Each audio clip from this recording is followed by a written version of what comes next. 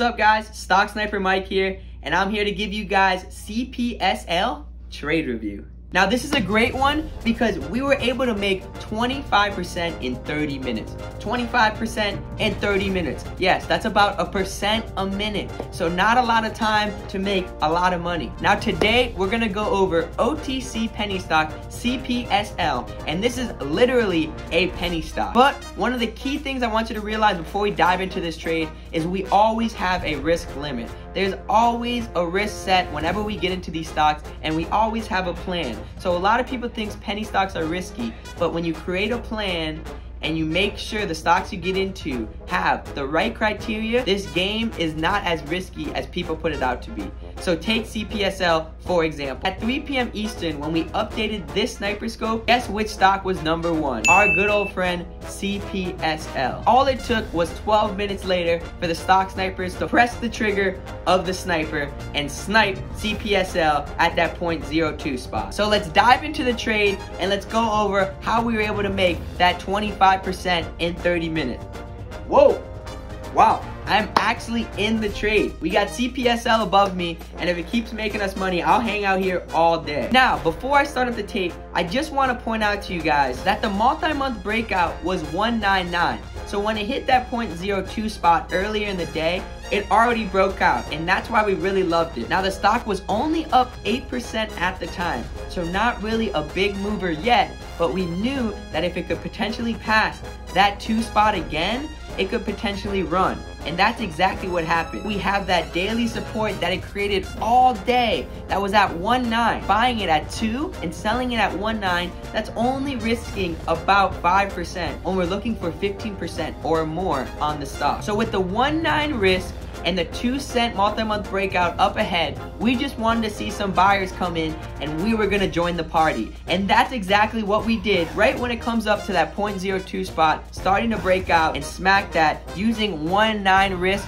and looking for 15% more on our money. Instantly, the breakout got the push we got a nice little cushion of 5%. And boom, we get a little more than 5% out of nowhere. So past 2-1 to 2-1-5. So nice little more of a cushion that we got here. But I want you guys to pick up on the time and sales in this. Check out what's coming in on the bid and the ask. We got big buyers coming on the bid and not as much big sellers coming in the ask. So we really do like the price action coming in here. And now we got to push. We're starting to push to that 2-2 area, giving us now a 10% cushion. Very, very nice already. 10% in 10 minutes. So we like that. We're up almost 400 bucks there in the first 10 minutes of being in this trade, exactly where you want to be. And as the bids start to stack up and the ask starts to disappear, we're getting above 2-2. Very, very nice. Now on the long-term chart, we see that there is some sort of resistance up ahead at 245. So that's a key spot that we realize it can possibly get rejected at if it gets there because it did happen in the past. So with the 245 ahead in range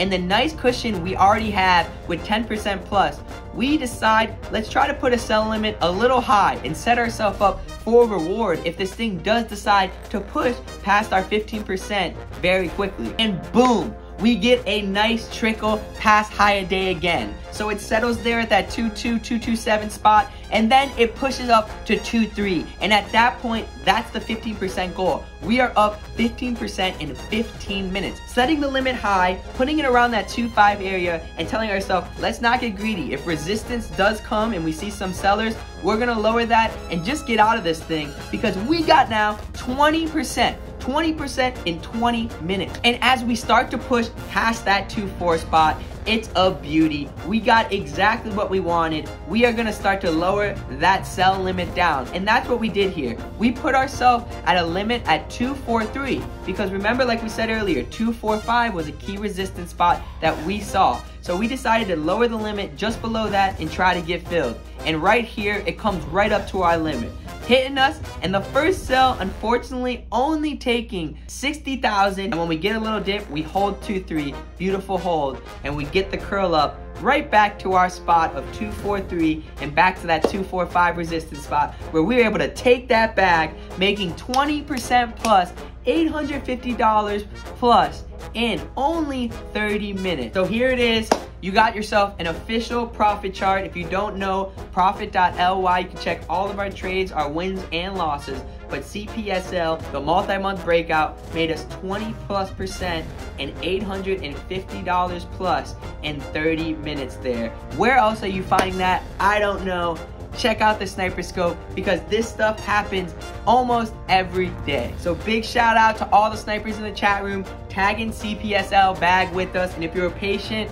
bam, you got rewarded with it. But we will take the $850 and 20% plus any day. If you want to be tagging the bags with us, we would love to have you on the team. You could be doing this just like us. Make sure to check us out on our website, www.thestocksnipers.com. Hope to see you in the chat. Hope to see you tagging bags just like this with us next time. I'll be back here with another trade review. Shout out CPSL. Much love. Stock Sniper Mike out.